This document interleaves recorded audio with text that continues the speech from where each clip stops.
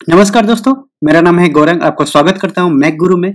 और आज इस वीडियो में मैं आपको दिखाऊँगा कैसे फोल्डर का आइकन चेंज करेंगे। तो चलिए स्टार्ट करते हैं इस वीडियो को। तो आप देख पा रहे हैं, ये मेरा डेस्कटॉप है, ये सारा फोल्डर है।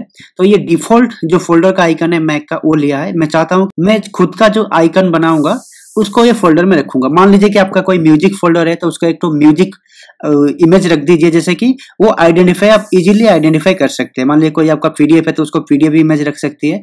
तो जो इजीली आइडेंटिफाई और उसे थोड़ा ग्राफिकली चेंज करने के लिए हम ये चेंजेस कर सकते हैं। तो चलिए मैं वही आप प्रैक्टिकल करके दिखा रहा हूँ आपको। आप देख पा रहे ये जो फोल्डर है मेरा, इसका मैं आइकन चेंज करना चाहता हूँ, ठीक है? तो मैं इसको चेंज कर दो, क्या करूँ? तो यहाँ पर राइट क्लिक कीजिए देन गेट इन्फो नहीं तो कमांड आई, उसका शॉर्टकट की यूज़ कर सकते हैं। ठीक है, ये मेरा ओपन हो गया।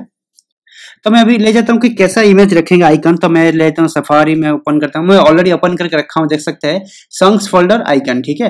तो यहाँ पर आपको बहुत सारा मिल जाएगा गूगल में। मैं चाहता हूँ कि ये इमेज मैं रखू मेरा फोल्ड इमोजी फोल्डर आइकन में, ठीक है? तो इसे ड्रैग करके मैं डेस्कटॉप पे छोड़ दिया। अब देख सकते हैं, ये डेस्कटॉप पे मेरा डाउनलोड हो गया जो इमेज तो। तो इसको डबल क्लिक करके ओपन कीजिए, फिर कमांड सी कॉपी करके रख लीजिए। कॉपी कर दीजिए। फिर ये फोल्डर का जो प्रेफरेंसेस हम लोग ओपन किए थे, आप ये देख पा रहे हैं, जो ये जो आइकन है डिफ़ॉल्ट आइकन है, इसके ऊपर क्लिक कीजिए, आप फिर तुरंत देख सकते हैं, ये ब्लू हाईलाइट हो रहा है ब्लू कलर का बॉर्डर हाईलाइट हो रहा है। तो जैसे ही हाईलाइट हो गए, आप कमांड एंड वी जो कॉपी किया था कमांड वी कर दीजिए। आप देख पा रहे ये फोल्डर का आइकन चेंज हो गया। मैं यहाँ पर देखा क्लोज कर देता हूँ, देख सकते हैं, ये फोल्डर का आइकन हो गया है मेरा।